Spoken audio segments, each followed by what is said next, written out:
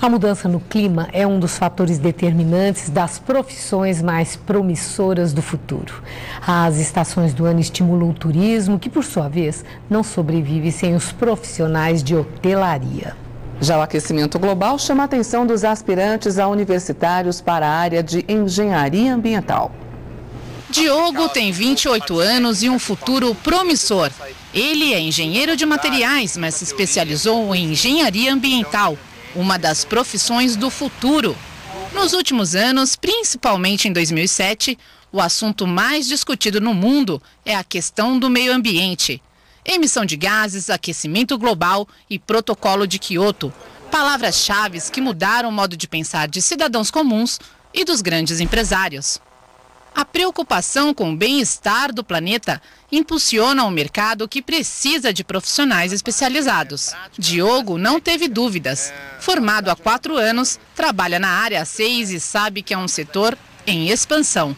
A engenharia ambiental em si, ela tem muito a fornecer, não para as indústrias, como para o próprio ambiente de vida das pessoas. Hoje você vê um mercado muito aquecido em relação à parte de procura de engenheiro eu tenho, já tive propostas de outras empresas no mesmo ramo, concorrentes também, querendo pegar engenheiros já com uma, com uma idade é, intermediária, entre 25 e 30 anos. Mesmo sem muita experiência, o salário de um engenheiro ambiental pode chegar a 8 mil reais. O professor de recursos humanos, Sérgio Amade, explica que apenas 10% dos jovens entre 18 e 24 anos que estão na universidade cursam carreiras em áreas técnicas. O Brasil forma cerca de 23 mil engenheiros por ano. A Coreia, que tem a metade da nossa população, forma 80 mil engenheiros por ano. Então nós temos uma carência nesse setor e é a engenharia é uma carreira aí para o futuro. É para o presente, já estamos tendo escassez, né? E, e é para o futuro. O Brasil continuando a crescer, ele precisa cada vez mais engenheiros.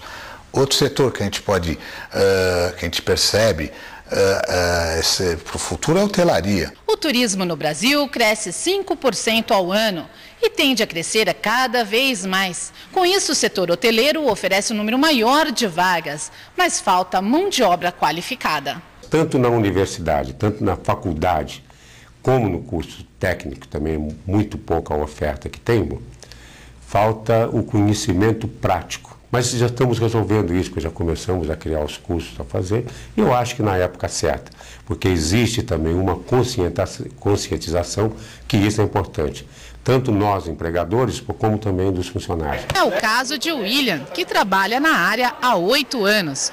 Ele se formou em hotelaria, fala inglês, faz espanhol e pós-graduação.